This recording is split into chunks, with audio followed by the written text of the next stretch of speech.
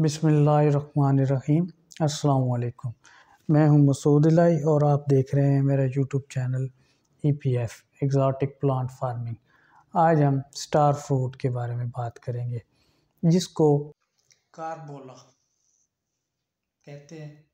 ये एक tropical fruit है, यानी ट्रॉपिकल एरिया का। ये इंडिया मलेशिया इंडोनेशिया फ़िलिपाइन में पाया जाता है। इसको स्टार फ्रूट इसलिए कहते हैं क्योंकि इसकी शक्ल अगर कटाई करें तो स्टार की माने दिखाई देती है। जैसे कि मैंने स्टार्ट में तस्वीर में दिखाया आपको। तो अगर कच्चा हो तो हल्के सब्ज रंग का होता है। जब पक जाता है तो इसकी रंगत पीली हो जाती है।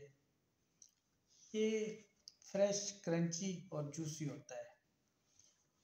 तो इसका जायका मीठा और हल्का सा खट्टा होता है। जैसे इमली के पत्ते हो तो ये बहुत लो कैलोरी फ्रूट है।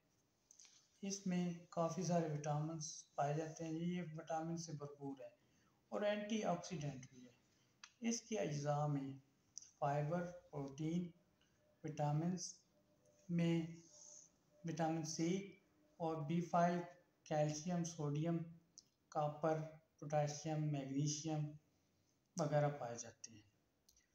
लेकिन इसकी एक ख़ास अहम बात यह है कि ये गुर्दे के मरीज़ों के लिए बहुत नुकसानदेह है। यानी जिनके गुर्दे में इन्फेक्शन हो या पथरी हो तो उनको इसको इस्तेमाल नहीं करना चाहिए। खसूस तौर पे परहेज़ करें ताकि गुर्दे को मज़ीद नुकसान ना पहुँचे। तो इसके अलावा मैं आपको मज़ीद इसकी फ़ार्मिंग के बारे में बताता हूँ। इसको बीज की मदद से उगाया जा सकता है। इसका बीज जो है, वो हम लोग के बीज की मानद होता है। तो जब कटिंग करेंगे फ्रूट की तो आपको बीज भी दिखा देंगे। बाकी अगर ग्राफ्ट कर लिया जाए तो ग्राफ्टिंग की मदद से जल्दी फल दे देता है। वैसे तकरीबन सात साल फल के बाद फल देता है। तो इसको पौधे को तो सर्दी में नुकसान नहीं पहुँचता, लेकिन ये सर्दी के मौसम में जब फल लग जाता है तो उस वक़्त इसके पत्ते वगैरह गिरते हैं और फल गिरना शुरू हो जाता है।